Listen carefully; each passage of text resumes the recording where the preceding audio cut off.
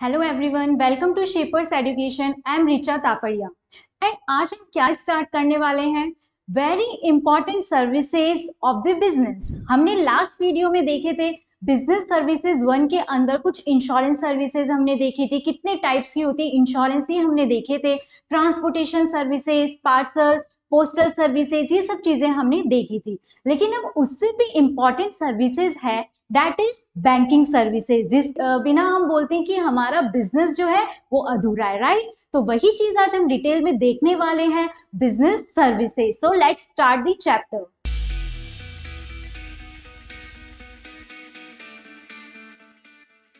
so let's start the chapter that is business services to first bank of world started in Geneva ये सबसे पहले start कहा हुआ था? जेनेवा में हुआ था in 1407 the word bank is derive from the word banco ये कहाँ से डिराइव हुआ? बैंको इस वर्ड से डिराइव हुआ bank according to RBI RBI ने हमें डेफिनेशन दी है. That is bank is an institute which collect deposits bank क्या है? एक इंस्टीट्यूट है, जो क्या कर रहा है? जो डिपॉजिट्स करता है, हमें भी पता है, हमारे पास कुछ भी सेविंग्स होती है तो हम क्या करते हैं? वो डिपॉजिट्स करते हैं हम बैंक के अंदर, क्योंकि हमारे पास सरप्लस है तो हम सोचते हैं कि कुछ ना कुछ तो हमें उससे इंटरेस्ट मिलेगा। घर पे रहेगा पैसा तो क्या होगा? ऐसे ही पड़ा रहेगा। लेकिन अगर मैं कहीं इन्वेस्ट करूँगी, अगर मैं बैंक में डिपॉजिट करूँगी तो उससे क्या होगा? मुझे उससे इंटरेस्ट मिलेगा। तो वही आरबीआई ने हमें यहाँ डेफिनेशन दी है that bank is an institute which collect the deposits which collect the deposits in order to lend them क्यों कर रहे हैं? वो डिपॉजिट की ताकि वो लैंड कर सके। जब लोगों को ज़रूरत हो तो उन्हें दे सके। तो to lend them with the condition to return it in at the end of the term कब वो एंड ऑफ़ द टर्म जब भी टाइम होगा। या तो हमने फिक्स डिपॉजिट किया है तो उसके केस में क्या होता है? फाइव ईयर्स टेन ईयर्स जब पीरियड कंप्लीट होगा, तब देगा। या फिर वो कब देगा? कि जब हमें ज़रूरत है, वापस पैसों की। अगर मैंने डिपॉजिट किया है तो उस केस के अंदर ज़रूरी नहीं है ना कि मैं एफ़ ही कराऊं। मैंने बस सेव कर दिया।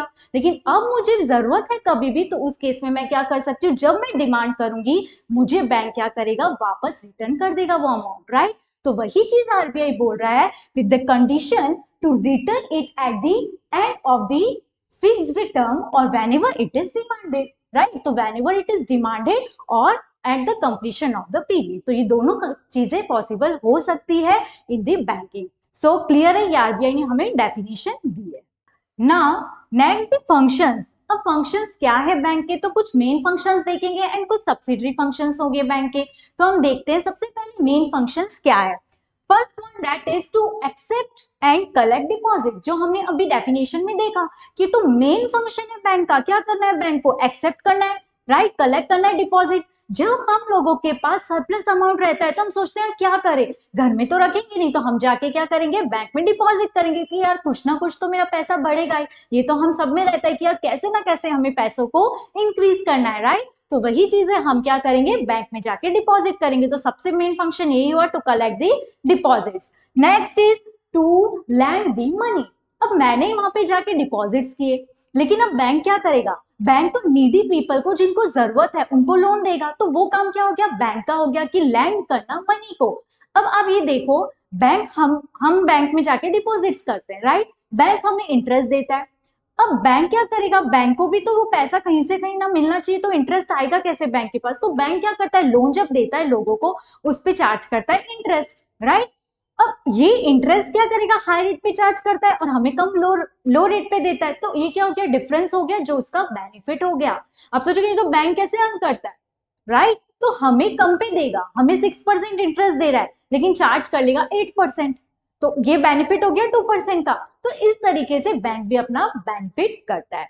अब आप देखोगे कि बैंक लैंड तो करता है बट किस तरीके से लैंड करता है? तो देखो, दो कंडीशंस होती है through a loan and through the overdraft and cash credits अब थ्रू अ लोन क्या हो गया? आजकल हम देखते हैं बेटा कि बहुत सारे लोन हम लोग को मिलते हैं। हमें कोई भी टाइप का लोन मिल जाता है। हमें होम लोन चाहिए होम लोन मिल गया कार लोन चाहिए, वो मिल गया एडुकेशन लोन चाहिए, सब तरीके के हमें लोन प्रोवाइड कर रही है बैंक्स राइट तो अब इस तरीके से लोन क्या हमें ऐसे ही दे देती है बैंक? नहीं देती। कभी कभी हम लोगों के अकाउंट्स वहाँ ओपन है अच्छा क्रेडिट दिख रहा है तो उस केस के अंदर दे देगी बैंक। लेकिन कभी कभी क्या करते हैं गवर्नमेंट बैंक हमसे क्या लेगी? सिक्योरिटी लेगी राइट हम पे कुछ हाइपोथिकेशन लेगी। हाइपोथिकेशन क्या होता है? कुछ सिक्योरिटी पे रख लेना, जैसे स्टॉक को रख लिया प्रॉपर्टी को, इन सब चीज़ों को स्टॉक या प्रॉपर्टीज़ को हम बोलते हैं हाइपोथिकेट कर लेती है। मीन्स कि जितना माल मेरा बिज़नेस के अंदर रखा हुआ है उसके अकॉर्डिंग वो आपको लोन दे देगी। दैट इज़ हाइपोथिकेशन कि हमें स्टॉक को वहाँ जाके नहीं रखना है, लेकिन वो हमारे स्टॉक के अकॉर्डिंग क्या करेगी? हम लोगों को लोन देगी। दैट इज़ हाइपोथिकेशन तो वही चीज़ है कि ये बोल रहा है, एक तो हो गया लैंड कैसे करेगी? थ्रू अ लोन हमने देखा वेरियस टाइप्स ऑफ़ लोन्स आजकल प्रोवाइड है तो उस तरीके से लोन देगी। And second is OD and cash credits ये बहुत इंपॉर्टेंट टर्म है overdraft and cash credits right ये कितनी बार भी बता दो, लोग भूल जाते हैं, बच्चे भूलते हैं। तो इसे मत भूलिए प्लीज़ ये बहुत इंपॉर्टेंट टर्म्स है। देखो ओवरड्राफ्ट ओवरड्राफ्ट क्या है? दोनों है तो लोन राइट अब ओडी और सीसी में डिफरेंस ये है। ओडी में क्या हो गया कि जैसे मेरा अकाउंट ऑलरेडी ओपन है राइट अब मेरा अकाउंट अगर ओपन है कोई बैंक के अंदर, उस केस के अंदर मैंने कह दिया कि मेरा एक लाख का अमाउंट है। लेकिन कोई कंडीशन के अंदर ऐसा हो गया कि मुझे कुछ अमाउंट ज़्यादा उसके अंदर चाहिए। मुझे वहाँ पे वन लाख फिफ्टी थाउज़ेंड का क्या करना था? किसी को पेमेंट करना है। या समझ लो वन लाख ट्वेंटी थाउज़ेंड का पेमेंट करना है बट मेरे अकाउंट में वन लाख की अमाउंट है। तो उस केस के अंदर क्या होता है कि हम लोग बैंक को बोलते हैं कि हमें ओडी की फैसिलिटी चाहिए। क्या चाहिए हमें ओडी फैसिलिटी चाहिए? तो बैंक हमें ओडी अकाउंट ओपन करता है हमारा, जिस केस के अंदर आपके अकाउंट में बैलेंस रहेगा, या आपके करंट अकाउंट में ओपन हो जाता है। करंट अकाउंट में आपके बैलेंस है, लेकिन जब समझ लो मुझे वन लाख का नहीं, मुझे वन लाख टेन थाउज़ेंड का चेक बनाना तो उस केस के अंदर अगर आपके पास ओडी फैसिलिटी है तो आपका चेक बाउंस नहीं होगा, नहीं तो हम देखते हैं जनरली बहुत सारे ऐसे केसेस आते बाउंस हो गया, क्योंकि बैलेंस ही नहीं है।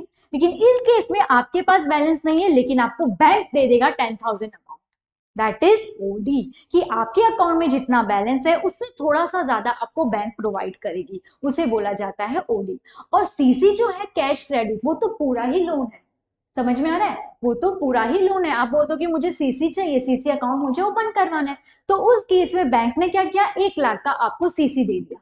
मतलब एक लाख की आपकी लिमिट है। अब वन लाख में से आपने सिक्सटी थाउज़ेंड यूज़ कर लिए। तो उस केस के अंदर आपको इंटरेस्ट देना पड़ता है। वो उनका टाइम लिमिट रहता है। उस केस में आप इतना अमाउंट के साथ इंटरेस्ट पे कर दो। That is cash credits clear तो कैश क्रेडिट्स में क्या हो गया? पूरा लोन आपने लिया राइट एक लाख का अकाउंट खुलवा लिया, जब आपको पैसों की ज़रूरत है, आपने उस अकाउंट से विड्रॉ कर लिया रुपीज़ अब उसके बाद वो आपको एक लिमिट देंगे कि वन मंथ या टू मंथ्स के अंदर आपको पेमेंट वापस करना है विथ इंटरेस्ट क्लियर तो ओडी में आपके पास बैलेंस रहेगा और सीसी में आपको पूरा बैंक प्रोवाइड करेगी. Both are the type of loans clear है ये चीज़? आई थिंक सबको क्लियर हो गया क्या होता है CC and OD next is to invest अब थर्ड फ़ंक्शन क्या हो गया? मेन फ़ंक्शन इन्वेस्ट करना. अब देखो बैंक के पास समझ लो अमाउंट इतना हम डिपॉजिट्स करते हैं, कितने कस्टमर्स आते हैं जो डिपॉजिट्स करेंगे। अब कस्टमर्स डिपॉजिट करने के बाद बैंक ने बहुत लोन भी दे दिया नीडी को, जिनको ज़रूरत थी। फ़ोन कर, आपके पास कितने बार कॉल भी आता है ना लोन रिक्वायर्ड है आपको, इतने इंटरेस्ट पे हम लोन दे रहे हैं, बहुत अच्छी फैसिलिटी आई है राइट तो ऐसे लोन, बहुत सारे ऐसे फ़ोन कॉल्स भी आते हैं। तो ये सब होने के बाद भी अगर बैंक के पास बहुत सरप्लस अमाउंट बचता है तो उस केस में वो क्या करेगी?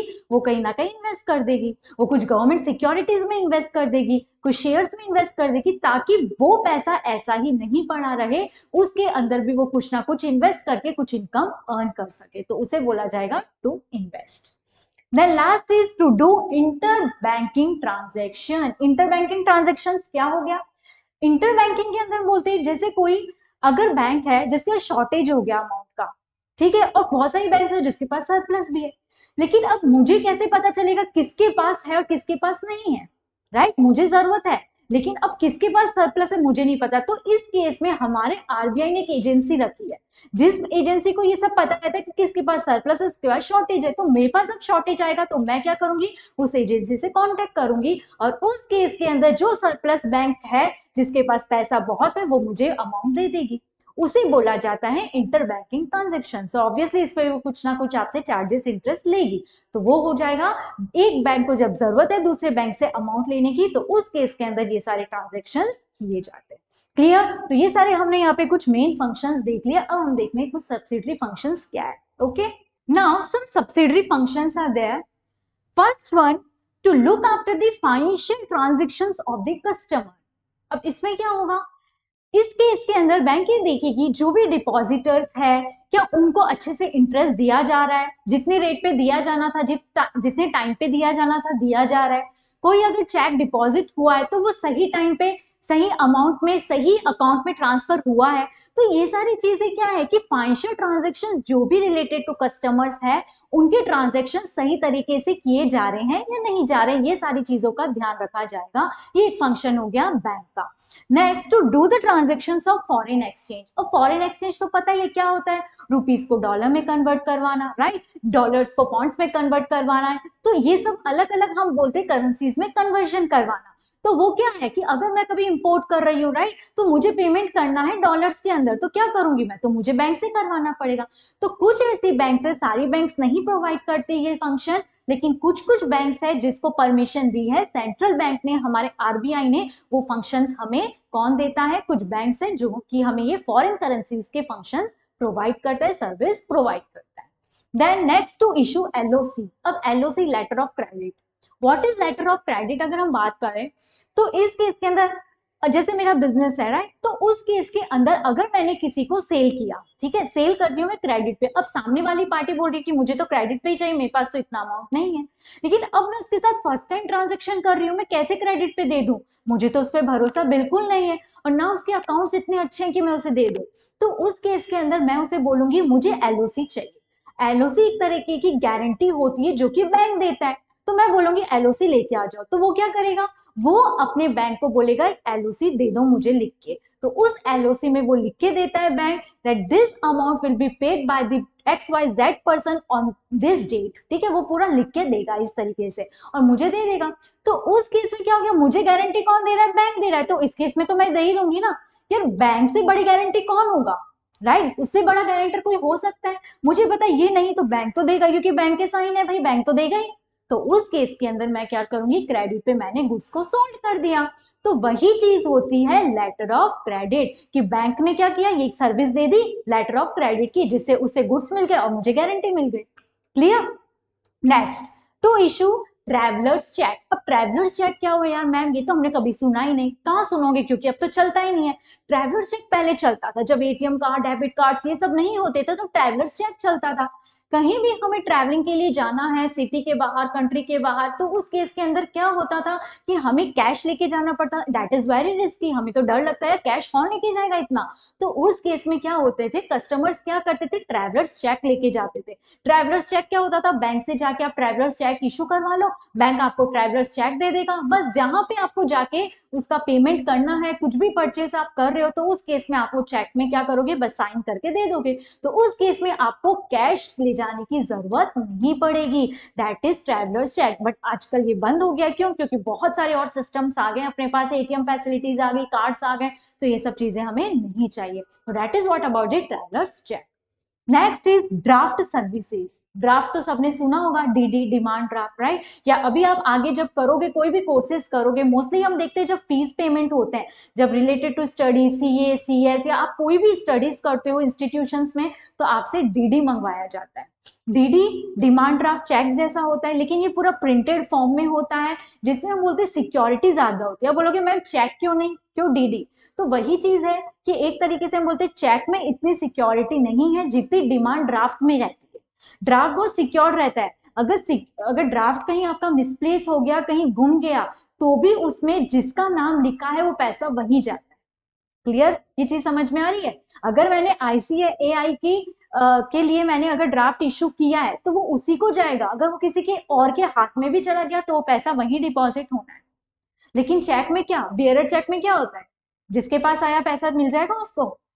Right that is blank cheque तो बियरर चेक के अंदर अकाउंट पे में तो नहीं जाएगा बट बियरर चेक में तो चांसेस है ना। और चेक हम देखते हैं कि डैमेज हो सकता है डिस्ट्रॉय हो सकता है, ये सब चीज़ें होती है बट डिमांड ड्राफ्ट में ये सब चीज़ें होने की चांसेस कम रहते हैं। तो इसीलिए डिमांड ड्राफ्ट एक सिक्योर मीडियम माना जाता है फॉर द पेमेंट तो वही चीज़ है डिमांड ड्राफ्ट है। आपके पास अगर आप अपने अकाउंट से करवाओ तो वैसे करवा सकते हो, नहीं तो आप कोई भी बैंक में जाके करवा सकते हो उस केस में। कैश आपको देना पड़ेगा, वो ड्राफ्ट आपको बना के देगा प्लस आपसे कुछ कमीशन चार्जेस वो बैंक लेगी राइट बस वो ड्राफ्ट जाके आप जहाँ पे आपको इंस्टीट्यूशन में देना है, वहाँ जाके दे दो।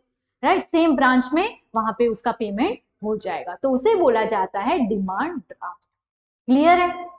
Next to provide information related to credit of a person अब इस केस में क्या हो गया?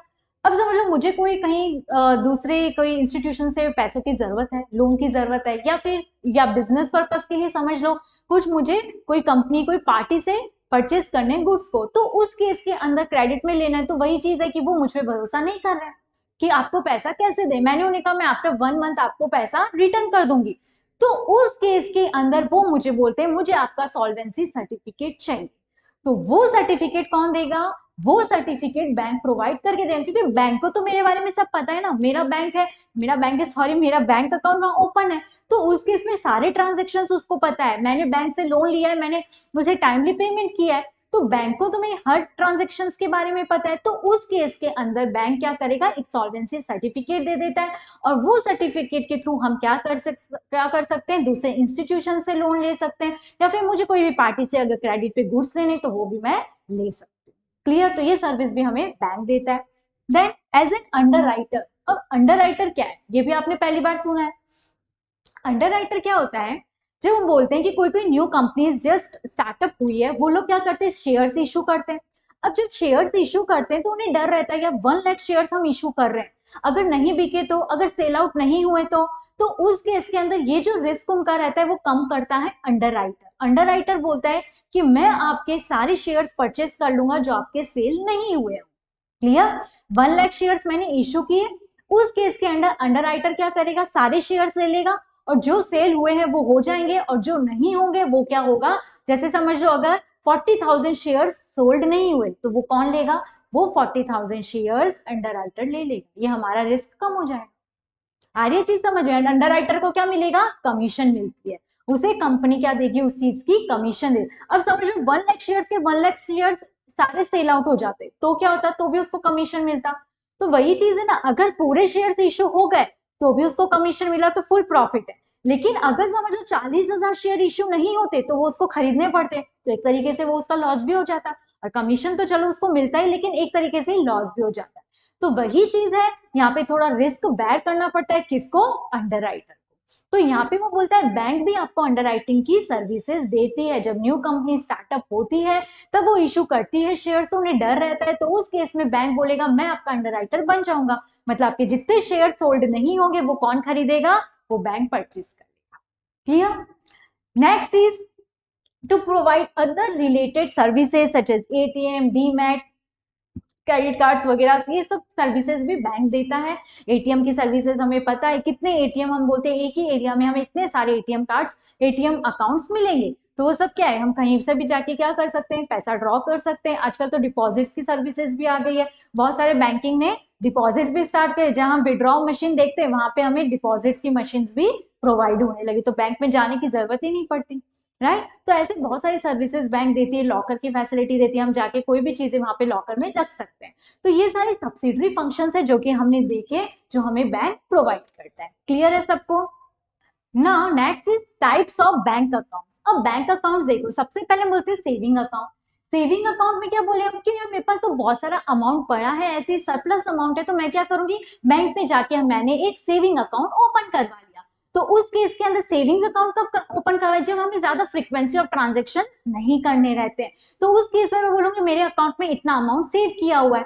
तो उस केस में हमें इंटरेस्ट मिलता रहता है। दैट इज़ हाफ़ ईयरली और ईयरली जैसे भी उनका एक तरीके से जो भी रूल्स एंड रेगुलेशन रहती है, उसके अकॉर्डिंग हमें इंटरेस्ट मिलता है। बट सेविंग अकाउंट से आप बार बार में फ्रिक्वेंटली ट्रांजेक्शन नहीं कर सकते। दैट इज़ सेविंग अकाउंट सबको पता होगा। Next is current account current account के अंदर हम बोलते हैं, जैसे बिज़नेस ट्रांजेक्शन होते हैं, उसके लिए करंट अकाउंट ओपन करना पड़ता है। परचेज सेल परचेज सेल की फ्रीक्वेंसी चलती रहती है तो उसके लिए करंट अकाउंट ओपन होता है।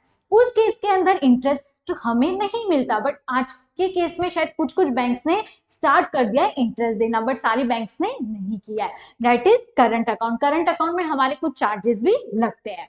Then recurring account recurring account के अंदर क्या होता है? ये भी एक तरीके से सेविंग अकाउंट जैसा है बट इस केस में आपको मंथली फिक्स्ड अमाउंट डिपॉजिट करना रहता है। उसे बोला जाता है रिकरिंग अकाउंट सेविंग से ज़्यादा रिकरिंग में आपको थोड़ा बहुत इंटरेस्ट ज़्यादा मिलता है। इस केस में जैसे मैंने बोल दिया मेरी जितनी भी सैलरी आती है फिफ्टी थाउज़ेंड सैलरी है, उसका टेन थाउज़ेंड में पर मंथ यहाँ पे क्या करूँगी? ट्रांसफ़र करती जाऊँगी तो ये अकाउंट में सेव होते जाए राइट तो ये क्या होता है? मंथली आपको यहाँ पे डिपॉजिट करना पड़ता है। जो भी आपका पीरियड दिया है कि टू ईयर्स है या थ्री ईयर्स है, उसके बाद आपको क्या होगा? पूरा अमाउंट मिल जाएगा विद द इंटरेस्ट क्लियर बस इसमें डिफरेंस ये मंथली आपको फिक्स अमाउंट डिपॉजिट करना and last that is fix deposit जो आप सबने सुना है एफडी बोलते हो आप जिसे। दस साल की मैंने एफडी करवा दी, दस लाख अमाउंट की। टेन लाख अमाउंट था मेरे पास, मैंने एफडी करा दी। अब क्या होगा? टेन लाख अमाउंट मुझे आफ्टर मैच्योरिटी क्या मिलेगा? विथ इंटरेस्ट मिलेगा, जो आपको पहले ही बता दिया जाता है। दस लाख पे आपको इतना इंटरेस्ट दिया जाएगा। अगर उस केस में आपको दस लाख का अमाउंट जो टेन ईयर्स के लिए आपने करवाया है उसको आपकी, उसको ज़रूरत है, आपकी अमाउंट को अमाउंट की ज़रूरत है आपको तो उस केस में आप अगर एट ईयर्स में मैच्योर करवा रहे हो उसको प्री मैच्योर तो उस केस में आपका इंटरेस्ट थोड़ा डिक्रीज हो जाएगा। होता है बहुत सारी इमरजेंसी केसेस आ सकती है, जिसमें मुझे मेरी एफडी को तुड़वानी पड़ सकती है तो उस केस के अंदर आपका इंटरेस्ट अमाउंट थोड़ा कम हो जाएगा। क्लियर है? तो फोर टाइप्स ऑफ़ अकाउंट्स है जो हम बैंक में ओपन करवा सकते हैं। Clear then services provided by bank अब कुछ सर्विसेज़ देखते हैं, हम क्या प्रोवाइडेड है? That is first one to issue draft ये हमने पहले ही देखा है डिमांड ड्राफ्ट जो फ़ीस के लिए हम बोलते हैं कि डिमांड ड्राफ्ट बनाया जाता है, वही चीज़ ये है कि बहुत ज़्यादा हम बोलते हैं सिक्योर्ड मीडियम है for the payment of the fees amount जो भी है तो उस केस के अंदर इशू ड्राफ्ट हो गया। नेक्स्ट इज़ बैंकर्स चेक ये बैंकर्स चेक क्या है, जब बोलते हैं, एक ही सिटी के अंदर अगर हमें किसी को पेमेंट करना रहता है तो उसके लिए ये बैंकर्स चेक यूज़ होता है। ये बैंकर्स चेक एक चेक जैसा ही होता है। बस ये भी जो प्रिंटेड मीडियम के अंदर होता है कि आपको किसी को भी अगर पेमेंट करना है तो आप ये चेक दे सकते हो। डेट इज़ बैंकर्स चेक और आजकल वही सिस्टम है, सब ऑनलाइन सिस्टम है कार्ड्स है एटीएम कार्ड्स है तो उस केस में ये सब चीज़ें अब कम यूज़ होने लग गई है। नहीं तो हम बोलते हैं, एक ही सिटी में आपको पेमेंट करना है so we can use this okay then RTGS that is real time gross settlement अब इससे नाम से आपको समझ में आ रहा है कि इस केस में क्या अब सब हम बोलते हैं बिज़नेस में इतने ऑनलाइन ट्रांजेक्शन होने लगे हमें किसी को भी पेमेंट करना है तो उस केस के अंदर क्या करते हैं हम? यहाँ पे हमारा पेमेंट जो भी हमें करना है five lakh ten lakh ten lakh amount का तो यहाँ पे मैं पेमेंट करूँगी और सामने वाली पार्टी को उस टाइम ही मिल जाएगा या फिर within four five hours के अंदर ये आपको अमाउंट वहाँ पे ट्रांसफ़र हो जाएगा। बट आरटीजीएस की एक लिमिट है कि आपका ट्रांजेक्शन टू लैक्स या मोर का होना चाहिए तो ही आप आरटीजीएस कर सकते हो। क्लियर है? देन एनईएफटी इस केस के अंदर भी क्या है? नेशनल इलेक्ट्रॉनिक फंड ट्रांसफ़र ये भी आरटीजीएस जैसा ही है। बट डिफरेंस क्या हो गया? उसमें टू लैक्स की लिमिट थी। इसके अंदर आप वन रुपी भी अगर ट्रांसफ़र करना चाहते हो तो उस केस में आप क्या कर सकते हो? ट्रांसफ़र कर सकते हो। ठीक है? तो ये भी आपका वही है कि आप कभी भी चाहो, किसी को भी चाहो, आप पेमेंट कर सकते हो। बैठे बैठे घर पे बस आपको इलेक्ट्रॉनिक मीडियम की इसमें ज़रूरत होती है। और यहाँ पे आपको आई का कोड की भी ज़रूरत होगी, जो भी बैंक में है, उस केस में आपको सामने वाली पार्टी का आईएफएससी चाहिएगा। क्यों? क्योंकि उसके अकॉर्डिंग आपका पेमेंट किया जाएगा। तो वो कोड होता है जो आपको पता ही है इलेवन डिजिट्स का उसमें अल्फ़ा न्यूमेरिक आपका डिजिट होगा, जो आपको उसमें फिट करना पड़ेगा और उसके अकॉर्डिंग आप पेमेंट कर पाओगे। डेट इज़ एनईएफटी तो आजकल हमें पता है आरटीजीएस और एनईएफटी ही चलता है। हम बोलते हैं हाँ यार पेमेंट कर दे यार, पाँच लाख का पेमेंट चाहिए मुझे। फटाफट उसने क्या कर दिया? आरटीजीएस कर दिया और मेरे पास पेमेंट आ गया। तो बहुत बहुत हम बोलते हैं इंस्टेंटली वो पेमेंट हो जाता है। हमें बैंक में जाके ये कुछ करवाने की ज़रूरत नहीं पड़ती। हाँ इसमें आपको आईडी पासवर्ड है जो आपको बैंक ही प्रोवाइड करता है, वो आपको चाहिएगा। देन बैंक ओवरड्राफ्ट जो हमने देखा कि करंट अकाउंट में हमारा ऑलरेडी अकाउंट ओपन है, दस लाख का अगर हमारा अकाउंट है तो उस केस के अंदर मेरा ग्यारह लाख का मैं उसके अंदर क्या कर सकती हूँ ट्रांजेक्शन कर पाऊँगी अगर मेरा ओडी अकाउंट ओपन है तो राइट देन कैश क्रेडिट्स भी हमने देखा कि सीसी अकाउंट मैंने दो लाख का ओपन करवा लिया, पूरा क्रेडिट्स उसके अंदर मुझे मिल जाएगा जैसे जैसे यूज़ करूँगी, वापस पेमेंट विथ इंटरेस्ट मुझे करना होगा। एंड लोन भी हमने देखा जो हमें बैंक प्रोवाइड करती है, जो कि बहुत डिफरेंट टाइप्स ऑफ़ बैंक है जो हमें बैंक आजकल देती है। बहुत इजीली हमें अवेलेबल हो गया है, बस हमें कुछ सिक्योरिटी उस पर रखनी पड़ सकती है। कैश क्रेडिट्स के अंदर हमें हाइपोथिकेशन कैश क्रेडिट्स में क्या होता है, लेकिन ये चीज़ मैं बताना भूल गई आपको कि सीसी जो है, वो सिर्फ़ बिज़नेस पर्पज के लिए यूज़ होगा। जो कैश क्रेडिट्स है ना, जो आप कैश क्रेडिट है, वो सिर्फ़ आप बिज़नेस पर्पज के लिए ही यूज़ कर सकते हो। वो आप घर के पर्सनली यूज़ नहीं ले सकते। क्लियर तो कैश क्रेडिट जो होता है, वो आपको बिज़नेस के अकॉर्डिंग मिलता है और वो आपको हाइपोथिकेशन पे ही मिलता है। कि जैसे आपके जो स्टॉक था, आपका स्टॉक आके देख लिया बिज़नेस में कितना है, उसके अकॉर्डिंग आपको 80 परसेंट स्टॉक का क्या दे दिया आप लोगों को? कैश क्रेडिट दे दिया कि बैंक को भी ऐसे रिस्क ना रहे कि अगर आप पेमेंट नहीं करोगे तो स्टॉक सेल करके आपका क्या करेगी वो पेमेंट ले तो उसे बोला जाता है सीसी क्लियर है? तो ये सारे सर्विसेज़ हमने देखी।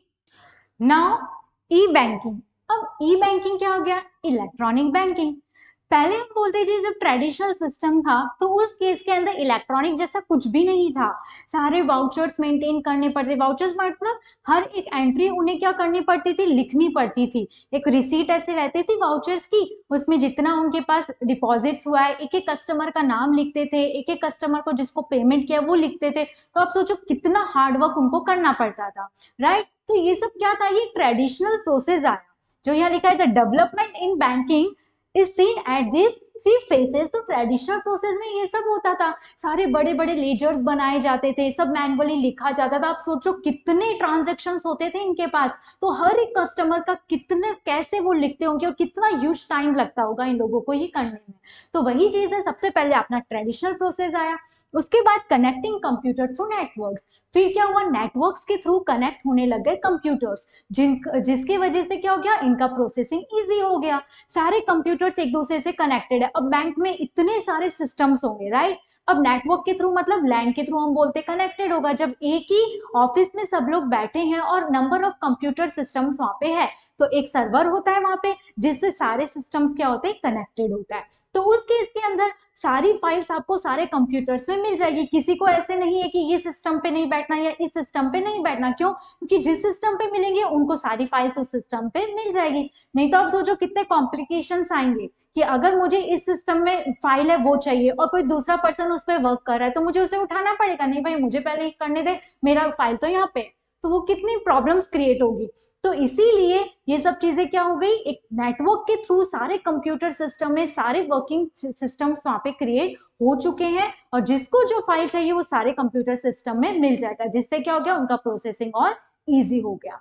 And then use of internet अब ये इंटरनेट के थ्रू हो सकता है, बिना हो सकता है क्या? नहीं हो सकता। इंटरनेट तो मोस्ट इंपॉर्टेंट है, जिसके बिना प्रोसेसिंग पॉसिबल नहीं है। क्लियर तो ये थ्री फेजेस हमने देखे। सबसे पहले जब नहीं था ई बैंकिंग तो ट्रेडिशनल सिस्टम के थ्रू सब कुछ चला। उसके बाद क्या हुआ? नेटवर्किंग के थ्रू सब कुछ स्टार्ट हुआ। एंड इंटरनेट हमारे लिए मोस्ट इंपॉर्टेंट है, उसके बिना तो कुछ हो ही नहीं सकेगा। क्लियर तो ये था e banking The following functions become easy due to use of internet in bank. अब क्या क्या फ़ंक्शंस और इजी हो गए? सबसे पहले हम देखेंगे यहाँ पे है कोर बैंकिंग अब कोर बैंकिंग में क्या होता है? जैसे हम बोलते हैं कि देखो कितने सारे ब्रांचेस है राइट एस हो गया HDFC हो गया नंबर ऑफ़ ब्रांचेस हमें यहाँ पे दिखेंगे बैंक के. तो उस केस के अंदर क्या ये चीज़ पॉसिबल है कि आपने यहाँ पे सूरत के अंदर अगर HDFC में अकाउंट ओपन करवाया तो उसके इसके अंदर अगर मैं कहीं और चली गई, मैं अहमदाबाद चली गई, बॉम्बे चली गई, उस केस के अंदर अगर मुझे एच से पेमेंट चाहिए राइट मुझे अमाउंट विड्रॉ करवाना है तो क्या वो आपको ये बोलेगा, नहीं, आप तो सूरत में जाके लो। है ऐसा पॉसिबल नहीं है। तो वही चीज़ है, ये किसके थ्रू पॉसिबल हुआ है? कोर बैंकिंग के थ्रू कि अगर अकाउंट मैंने यहाँ ओपन करवा लिया तो क्या हुआ? मैं कंट्री में कहीं भी घूम लू, मैं उस बैंक से कहीं की कोई भी ब्रांच से ट्रांजेक्शन कर सकती हूँ। वो क्या है? वो है कोर बैंकिंग कि अगर आप यहाँ पे एक भी ट्रांजेक्शन करते हो तो सारे ब्रांचेस में आपका क्या हो जाएगा? वो ट्रांजेक्शन हो जाएगा। कि अगर आपने यहाँ पे अकाउंट ओपन करवाया है तो वो S B I H D F C सारे बैंक में, जिसमें आपने ओपन करवाया एच डी एफ़ सी के सारे ब्रांचेस में आपका नाम वहाँ पे शो होगा। तो वही चीज़ है कि हम कहीं भी चले जाए, कोई भी ट्रांजेक्शन कर ले, वो पॉसिबल है हमारे लिए। तो कितना ईजी हो गया ये आज का टाइम आज का जनरेशन के अकॉर्डिंग कितना ईजी फैसिलिटीज़ हमें दी जा रही है। तो ये क्या ये सर्वर है? कि सारा सर्वर हम बोलते कनेक्टेड है। कहीं भी जाओ कुछ भी कर सकते हैं, हम पेमेंट कर सकते हैं, हम डिपॉजिट्स कर सकते हैं। It is only through the internet e banking के थ्रू ये सब चीज़ें पॉसिबल हुई है। क्लियर है? तो उसे बोला जाता है कोर बैंकिंग ई बैंकिंग अब नेक्स्ट जो अपना है वो ई बैंकिंग वो क्या हो गया इलेक्ट्रॉनिकली कि हम कुछ भी चीज़ें कर सकते हैं। अब बैंकिंग का हमें कोई भी सिस्टम चाहिए, हमें कुछ भी विड्रॉ करवाना है डिपॉजिट्स हमें पता है एटीएम्स आ गए इतने सारे मशीन है ना इतनी सारी, इतने सारे कार्ड्स आ गए। तो हम घर बैठे बैठे हम कुछ भी ट्रांजेक्शन कर सकते हैं दैट इज़ इलेक्ट्रॉनिक बैंकिंग हमें ज़रूरी नहीं है कि हम सब सब ट्रांजेक्शन करने के लिए हमें बैंक ही जाना पड़ेगा, क्योंकि हमारे पास बहुत सारी फैसिलिटीज़ आ चुकी है। That is electronic banking and next is last that is mobile banking वही चीज़ की हमें घर बैठे बैठे हम कुछ भी कर सकते हैं। मैं गैस बिल भर सकती हूँ, मैं कोई टैक्सेस का पेमेंट कर सकती हूँ, मैं इलेक्ट्रिसिटी बिल पे कर सकती हूँ। बस उसके लिए आपको एक आईडी और पासवर्ड की ज़रूरत है। वो उसके अंदर आपको नेट बैंकिंग स्टार्ट करवाना पड़ता है। तभी आप ये पॉसिबल कर सकते हो। कि आपको ज़रूरत नहीं है, आप हर पेमेंट के लिए बैंक में जाओगे और पेमेंट करोगे, नहीं। आप घर बैठे बैठे कहीं भी आप बैठे हो कंट्री के कौन से भी कोने में आप बैठे हो you can do the transaction of banking with your phone only you need is electronic device and your internet clear तो ये सब चीज़ें क्या है? ये सब चीज़ें बहुत इजीली पॉसिबल हुई है by through the internet e banking के वजह से हम बोल सकते हैं सब चीज़ें पॉसिबली आपको बहुत easily facilities clear and then last is that is service associated with bank अब क्या क्या सर्विसेज़ है associated ATM that is automated teller machine जो हम बात ही कर रहे थे एटीएम की, हमने एच में अकाउंट ओपन करवाया, हमें एक एटीएम कार्ड मिलता है डेट इज़ कि एटीएम की हमें फैसिलिटीज़ दी गई। एटीएम हमें मशीन यहाँ कितनी मिल जाएगी? Right right? कहीं भी जाके हमें क्या करना है, बस उसमें हमें एक सीक्रेट पिन रहता है, वो अपने को कोड डालना रहता है। कोड डालो और उसके बाद आपको जो ट्रांजेक्शन करने आप कर लो। आपको एटीएम में आप, आपको पता करना है आपके अकाउंट में कितना बैलेंस है वो आपको शो कर देगा। आपको वहाँ से कुछ विड्रॉ करना है पैसा तो आप विड्रॉ कर सकते हो बट हर कार्ड में कुछ कुछ लिमिट्स होती है कि पर डे आप इतना ही ट्रांजेक्शन कर सकते हो या आप थ्री ट्रांजेक्शन कर सकते हो फॉर दी मंथ बहुत सारे अपने अपने बैंक में अलग अलग रूल्स रेगुलेशन है। किसी किसी बैंक में ये भी रूल्स रेगुलेशन है कि थ्री टाइम्स आप मंथ में यूज़ कर सकते हो। क्या यूज़ कर सकते हो? दूसरे बैंक से निकाल सकते हो अमाउंट जैसे अगर एचडीएफसी है तो एच का एच से निकलेगा, लेकिन एसबीआई से भी निकल सकता है। लेकिन वो आप थ्री टाइम्स यूज़ कर सकते हो वैसे। अगर आपने उसके ज़्यादा किया तो चार्जेस लगने स्टार्ट हो जाएँगे। तो कभी कभी हम सोचते ना यार, ये तो पास में एस बी आई का यहीं से निकाल लेता हूँ। होता है बहुत बार ऐसा। या एच के मुझे मिल नहीं रहे, वहाँ से मशीन से पैसे नहीं निकल रहे तो एस से निकाल दिया। तो उस केस के अंदर बोलते थ्री टाइम्स आप निकाल सकते हो ऐसे दूसरे अकाउंट से, दूसरे बैंक से। लेकिन फिर निकालोगे तो चार्जेस लगने स्टार्ट हो जाते तो ऐसे बहुत सारे रूल्स रेगुलेशन सब अपने अपने बैंक प्रोवाइड करते हैं राइट बट एटीएम से हमें बहुत फैसिलिटीज़ मिल गई है। हम जब चाहे कैश को विड्रॉ कर सकते हैं और बहुत सारे जैसे कि मैंने कहा डिपॉजिट्स के लिए भी ये मशीन प्रोवाइड हो गई है कि हम क्या कर सकते हैं डिपॉजिट्स भी अब तो स्टार्ट हो गया है एटीएम मशीन पे। क्लियर देन क्रेडिट कार्ड अब क्रेडिट कार्ड क्या है? हमने सुना है क्रेडिट कार्ड होता है और एक डेबिट कार्ड होता है। तो क्रेडिट कार्ड में क्या हो गया कि हमें क्रेडिट से ही समझ में आ रहे पैसे मिल रहे क्रेडिट पे हमें। तो वो ऑलमोस्ट हम बोलते हैं कि बड़े बड़े बिजनेसमैन यूज़ करते हैं या फिर हम बोलते हैं शॉपिंग सेंटर्स में हम लोग यूज़ करते हैं क्रेडिट कार्ड राइट उसमें बहुत सारी हमें फैसिलिटीज़ भी दी जाती है। आप देखते हो बहुत सारी चीज़ों में HDFC लिखा रहता है क्रेडिट कार्ड है तो फाइव परसेंट का ऑफ़ मिल गया, ये सब होता है। तो बहुत सारी क्या ऐसी फैसिलिटीज़ भी हमें बैंक देती है। तो वही है क्रेडिट कार्ड आप यूज़ करोगे, आपने कितने की लिमिट वहाँ पे ओपन करवाया क्रेडिट कार्ड में डिपेंड करता है, उसके अकॉर्डिंग आप जैसे जैसे अमाउंट यूज़ करोगे विड्रॉ करने लगोगे, उसके अकॉर्डिंग आपको इंटरेस्ट चार्ज होने लग जाएगा।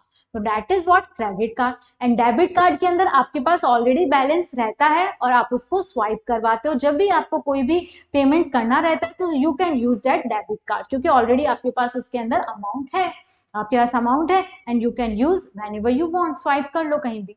राइट तो that is credit and debit card debit card में ऑलरेडी अमाउंट है आपका एंड क्रेडिट कार्ड में आप ऑलरेडी क्रेडिट से पैसा उसमें लेते हो. That is call the credit and debit card clear है? तो ये आज हमने बहुत सारी सर्विसेज़ देखी. बैंक की बैंक क्या क्या फ़ंक्शंस करता है? कुछ उसके मेन फ़ंक्शंस होते हैं, कुछ सब्सिडरी फ़ंक्शंस होते हैं. कुछ अलग अलग हमने और भी सर्विसेज़ देखी, कुछ एसोसिएटेड देखे हमने और कुछ हमने उसमें ई बैंकिंग भी देखी. तो आज हमने डिटेल में बैंकिंग का पूरा चैप्टर ही आज कंप्लीट किया है होपफुली आप लोग को समझ में आया है, नहीं समझ में आया तो प्लीज़ मैसेज कीजिए कमेंट कीजिए और समझ में आए तो करना ही है आप लोगों को तो प्लीज़ लाइक कीजिए कमेंट एंड सब्सक्राइब कीजिए so done for today okay bye.